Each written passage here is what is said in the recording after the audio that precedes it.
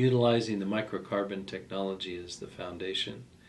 Then we have created the soil enhancement products or soil amendment products, which creates a sustainable soil environment, soil fertility that can be sustained uh, for many years to come.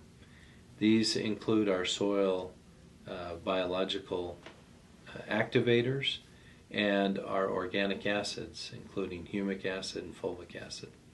Without creating a proper foundation for the crop and treating that soil not as dirt but as soil, as a substrate for the for the crop, uh, I think that we're missing a great resource, and our soils have been over abused, overused, and you know been over chemified, if you will, and blend provides the solution, the foundational solution to enhancing the soil sustainability.